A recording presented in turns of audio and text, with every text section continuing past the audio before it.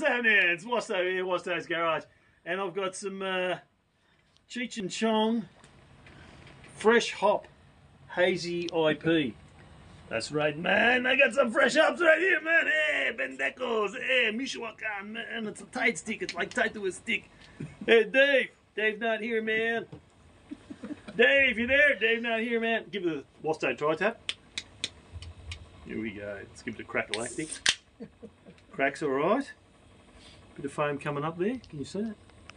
Oh, isn't that lovely? Look at look at these two guys.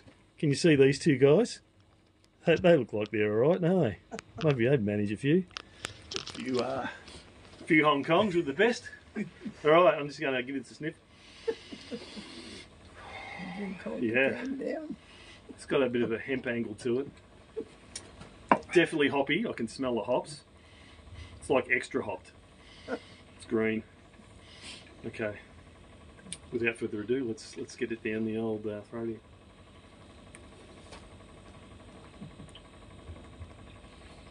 Hmm. There it is. It's it's uh, surprisingly light.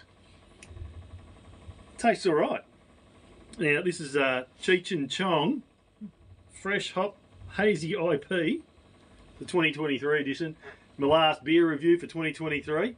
So guys, have an awesome, awesome new year, and uh, thanks for watching. And um, yeah, I'll give this one a solid seven and a half out of 10 Wostos on the Wosto meter. The Wosto meter is broken. Out for servicing, unfortunately, but you get the drift. There it is. Cheech and Chong. Da, da, da. That's all, because I'll get busted for some sort of, I don't know, copyright issue. Cheers, big ears. Down it goes, big nose. Happy New Year. Awesome. Wosto's Garage. Not all about cars. Cheers.